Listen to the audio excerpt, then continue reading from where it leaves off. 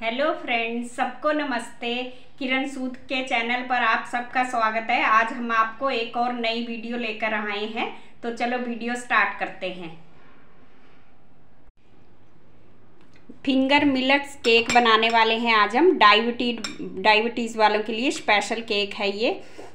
तो इसके लिए हमने दो कप लिया है। फिंगर मिलट आटा, ये रागी का आटा है। इसी कप का मेज़रमेंट लिया एक कप गेहूँ का आटा, दो कप रागी का, एक कप गेहूँ का तो ये ढाई सौ ग्राम आटा हो जाता है दोनों मिला के। और एक cup Amul cream Amul fresh cream ली है।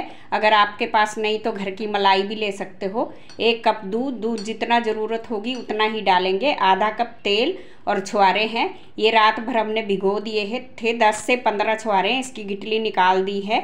वनीला एसेंस थोड़ा सा गुड़ लिया है। दो टुकड़े गुड़ के हैं, आप अपने हिसाब से ले सकते हो। और बेकिंग पाउडर एक चम्मच, baking soda one fourth teaspoon और वन फोर्थ टी स्पून नमक। अब छुआरे को दूध डाल के हमने मिक्सी में ग्राइंड करना है। छुआरे का हमने पेस्ट बना लिया इसी तरह। अब इसमें हमने गुड़ को डाल देना है और उसको भी मिक्सी में चला लेंगे थोड़ा सा ताकि गुड़ भी मेल्ट हो जाए। ये गुड़ और छुआरे का हमने बिल्कुल बारीक फाइन पेस्ट बना लिया। अब एक बड़ा बाउल लेंगे, जिसमें हमने केक का बैटर बनाना है, उसी में इसको डाल देंगे। अब इसी बाउल में डाल देना हमने तेल, आधा कप तेल है, और इसी में हमने क्रीम डाल देनी है, एक कप क्रीम है।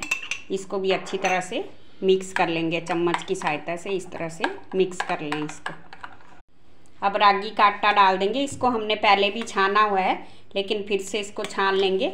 इसको दो तीन बार छानने से इसकी हवा निकलती। हमने पहले भी बहुत सारे केक डाले हैं तो उसमें हमने बताया है कि इसको छानना ज़रूरी होता है, मैदा हो, आटा हो, कोई भी हो।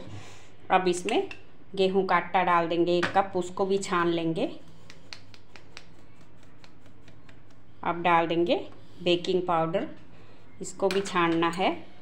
Baking soda. और नमक।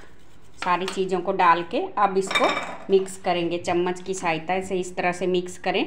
और इसको एक ही तरफ़ फेंटना है और इस, जब ये गाढ़ा हो जाए तो इसमें हमने थोड़ा थोड़ा करके दूध डालना है। अभी इसी तरह से इसको मिक्स करते जाएँगे एक तरफ़। अब इसको उंगलियों की सहायता से इस तरह से फेंटेंगे। ये हमारा मिक्सचर बहुत गाढ़ा है तो इसमें हमने थोड़ा थोड़ा करके दूध डालना है। अगर ज़रूरत पड़ेगी तो और भी दूध ले लेंगे। इस तरह से थोड़ा थोड़ा दूध डालेंगे। जितना हमें बैटर चाहिए पतला गाढ़ा, फिर से थोड़ा दूध डलेगा। एक कप बड़ा, हमने दूध डाल दिया पूरा। अगर ज़रूरत पड़ेगी तो और दूध ले लेंगे। अब इसमें डाल देंगे चार से पाँच ड्रॉप्स वनीला एसेंस और इसको फिर से अच्छे से मिक्स करेंगे। हमें इतना पतला बैटर चाहिए, ना ज़्यादा गाढ़ा, ना ज़्यादा पतला। अब हमने केक टिन लेना है। केक टिन को हमने ही, पहले ही इसको तैयार कर लिया इसमें तेल लगा के, इसमें थोड़ा सा आटा छिटक के इसलो इस तरह से झाड़ लिया। इससे क्या होता है, हमारा केक ना तो चिपकता है, ना जलता है। अब इसमें सारा बैटर हमने एक साथ डाल देना है।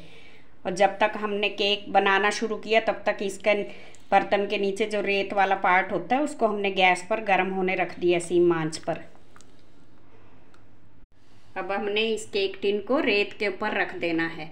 अगर आपके पास ये बर्तन ना हो तो आप तवे पर रेत रख के किसी भी एलुमिनियम बर्तन में इसको बना सकते हो।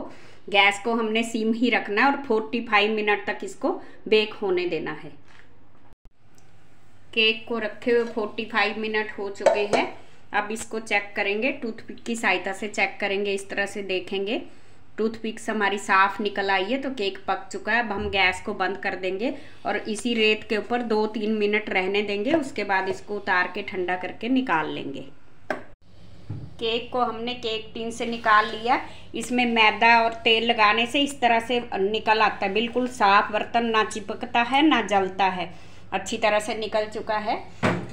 तो केक हमारा खाने के लिए तैयार है। बहुत ही स्पॉन्जी केक बना है और डायबिटिक स्पेशल है ये, शुगर फ्री केक है।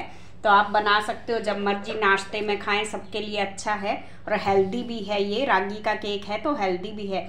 अगर इसका होल आपको आइसिंग करना है तो इसको बंद करने के लिए आप एक बिस्किट रख सकते हो। इसमें इस तरह से मारिए बिस्किट रख दे या कोई भी गोल बिस्किट रख दे तो इसको आसानी से आप आइसिंग कर सकते हो।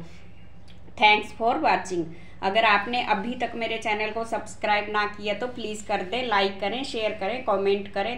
इसी तरह हम नई नई वीडियो आपको देते रहेंगे। Thank you